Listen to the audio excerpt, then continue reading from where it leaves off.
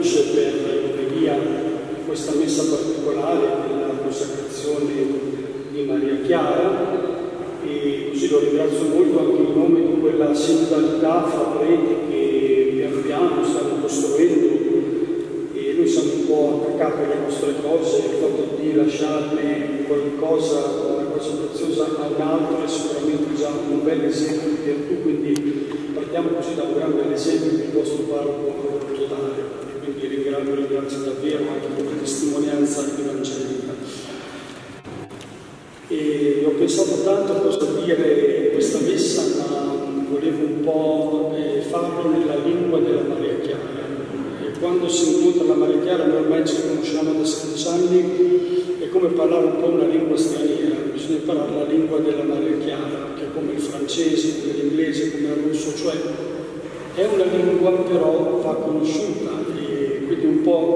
abbiate pazienza per i toni un po' forse umoristici che avrà questa pratica che vi faccio perché cerco un po' di presentarvi come la Maria Chiara si presenta Parto da questo episodio eh, che racconto sempre uno dei più interessanti. Eravamo nel mio laboratorio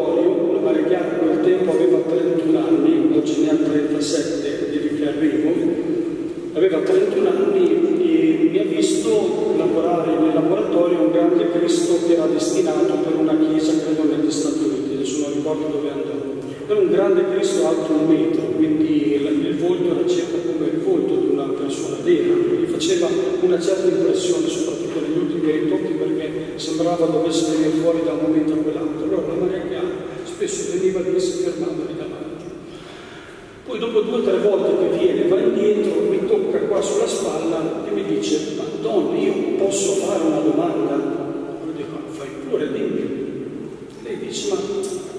devi spiegarmi un po' questa cosa, perché io e Gesù ci siamo fidanzati quando io avevo 19 anni, lui ne aveva 33. Poi tutti gli anni io facevo 20, 21, 22, 23, lui sempre 33. Allora, adesso io ho 31, lui 33. Ma quando arriviamo e se arriviamo al punto che ne avremo 33 tutti e due, la stessa età va bene, ma dopo io divento più vecchia di lui, lui continua a volermi bene. Allora io ho detto, sai cosa dobbiamo fare Marichiara? Vai a casa e chiedi alla mamma. Perché non sapevo cosa dire, questa è una domanda di una teologia così antica che non avevo gli strumenti. E qui la provvidenza mi ha molto aiutato perché dovete sapere che la Giuliana è di 4 anni maggiore di Rio vedi tuo papà ha quattro anni in meno di me, io ho quattro anni in più di lui e lui continua ancora a volermi bene. Allora 33, 4 fino a 37 Maria Chiara siamo a posto, dopo apriamo il problema. Allora la Maria Chiara una volta dopo venne e mi raccontò questa storia, allora anch'io dissi, fino a 37 siamo a posto.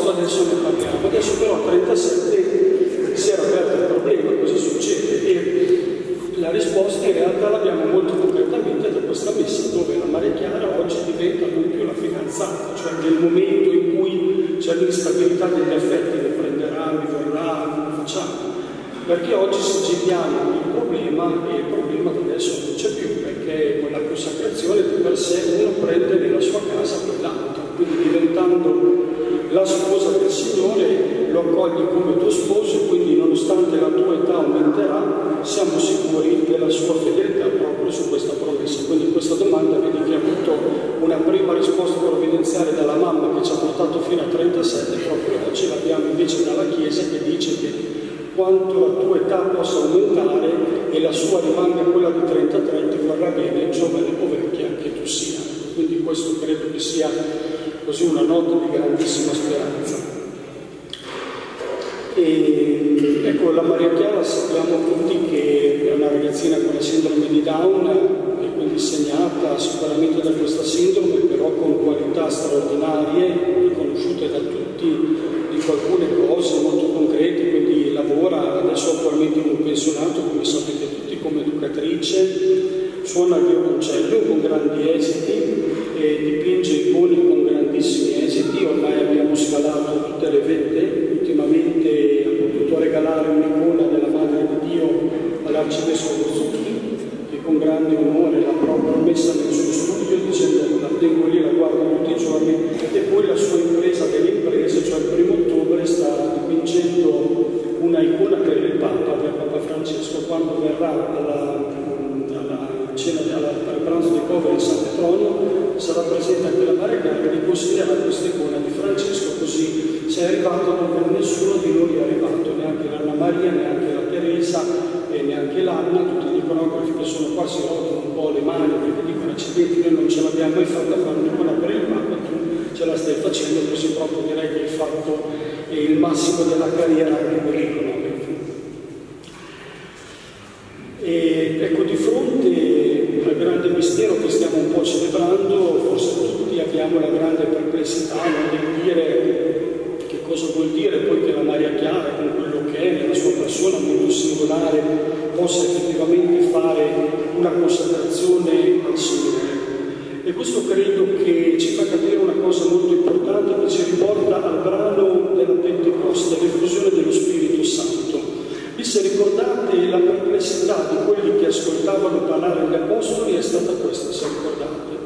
Li sentivano parlare nella lingua di ognuno,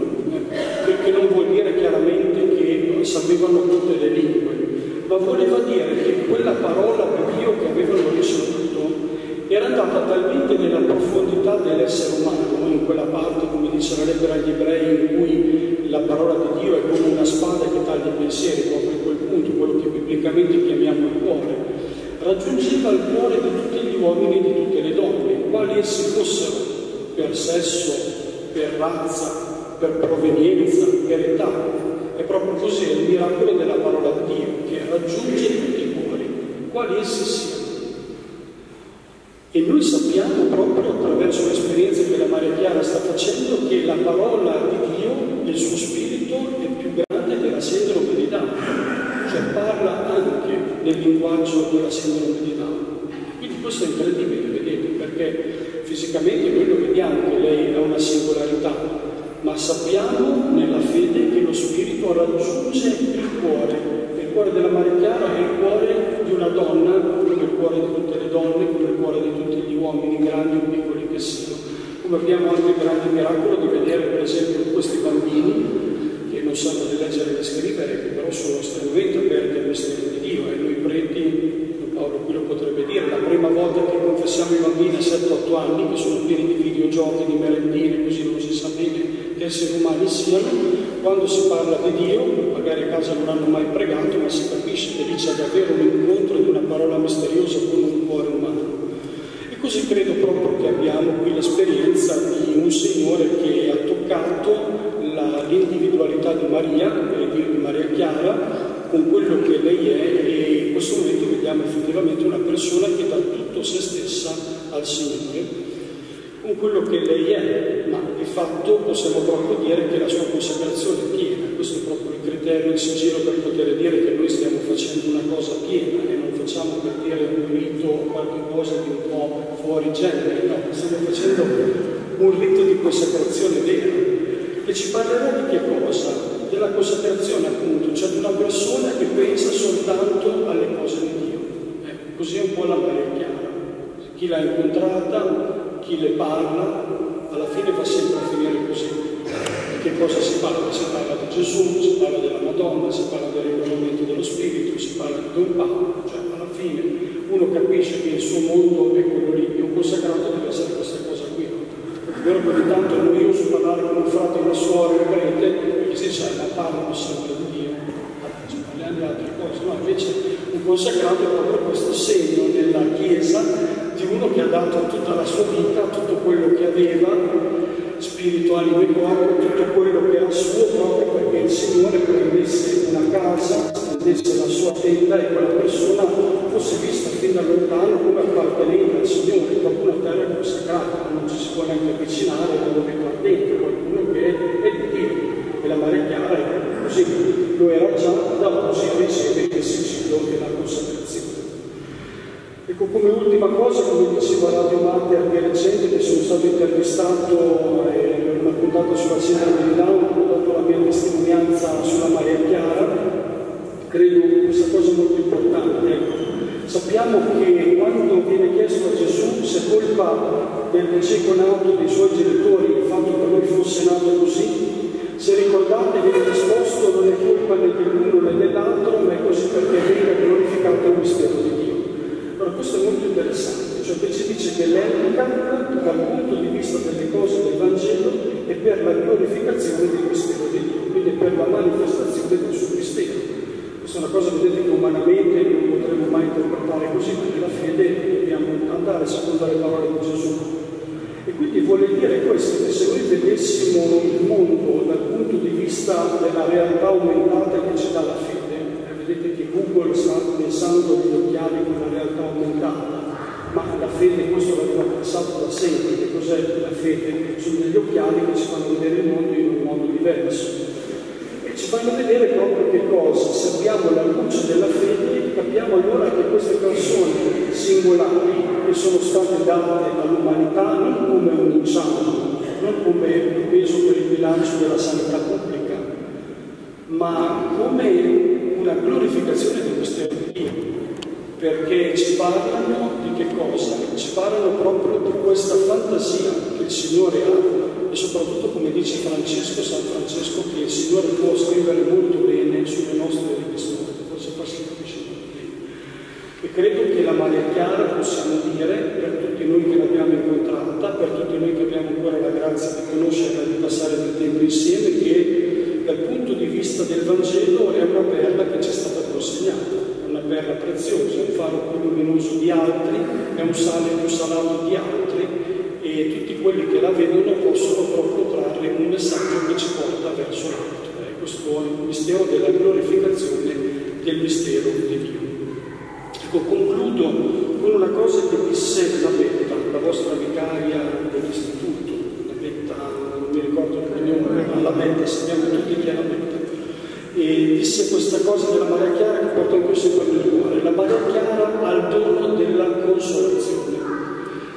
E io credo che appunto la glorificazione del mistero di Dio nella persona della Maria Chiara passi soprattutto attraverso così questo sorriso a 365 gradi, 160 più 5 come giorni dell'anno,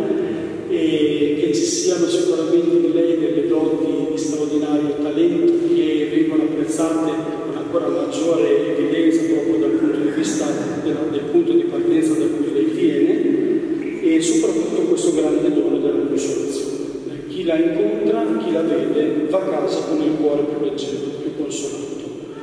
E quindi grazie, grazie Maria Chiara per questa, questo grande gesto che fai oggi, grazie alla tua famiglia che ti ha portato fino a qui, grazie a tutti i tuoi amici che ti seguono in che non ripeto che troviamo alla fine di questo bel libretto e poi soprattutto grazie anche a questa comunità e alla Chiesa che ti accoglie come sposa del Signore del più bello dei figli dell'uomo e, e non è poco eh. sposare il più bello fra i figli dell'uomo dice che hai avuto grandi gusti quindi complimenti